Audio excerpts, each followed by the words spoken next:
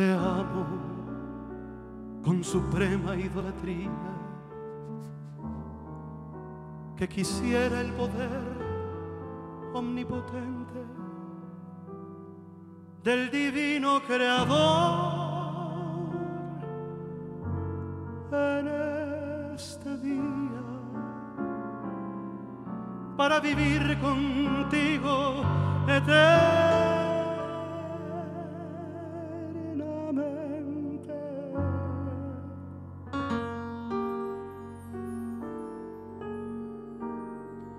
Ser uno del otro imprescindibles.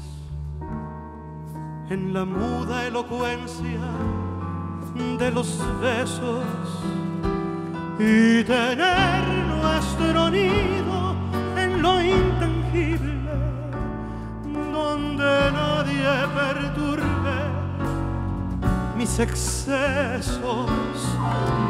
De todos tus amores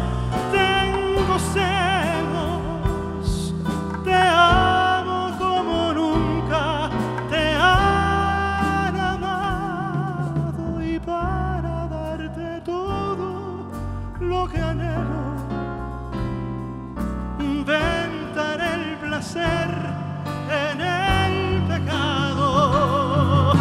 Cuando la vida eterna se desprenda y el infinito muera, muera en el olvido, quedará nuestro amor como una ofrenda de dos que aunque pecaron han vivido.